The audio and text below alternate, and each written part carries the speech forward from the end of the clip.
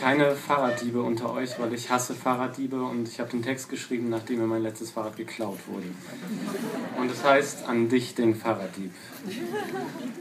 Es muss ein schöner Tag gewesen sein, als du ganz flink und unverhohlen mein heißgeliebtes Rad, mein Rad vom Hinterhof gestohlen.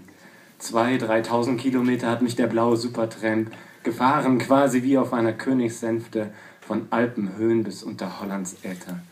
Ich dachte, sah durch meine rosarote Brille, wir führen unser beider Leben lang gemeinsam durch der Städte Lärm und Landschaft Stille, nie war mir um dich wirklich bang.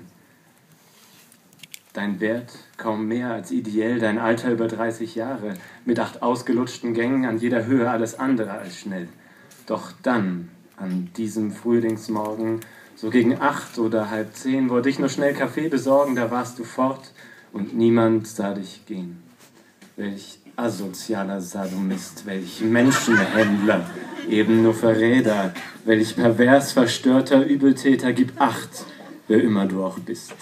Begleiter sein dir Tag für Tag die Pest, noch besser Cholera, und bringen soll dich in den Sarg mein Voodoo-Zauber und Zigeunerschwur. Das Rad wird selbst zum Attentäter, geweckt durch meinen Zorn. Der sattelscheure Hämorrhoiden, die sich an deinem Arsch, die sich an deinem Arsch in ihrer Größe messen, die unkaputtbar Reifen sollen platzen, am steilsten Berg zerfetze es der Bremsenkabel und jede Schraube soll sich von ihrer Mutter lösen, da du in voller Fahrt den Diebischakt vergessen hast.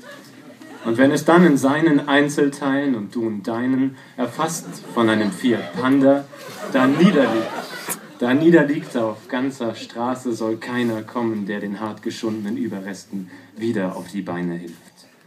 Verrecke du mit deinesgleichen Dreck da unten in der Gosse. Und Tränen wird nur Regen weinen, doch nur, weil er es nicht anders kann. Was fehlt, bist du, mein unvergleichlich Rat. Was bleibt, sind Bilder einsortiert in Fotoalben und bald verblassende Erinnerungen.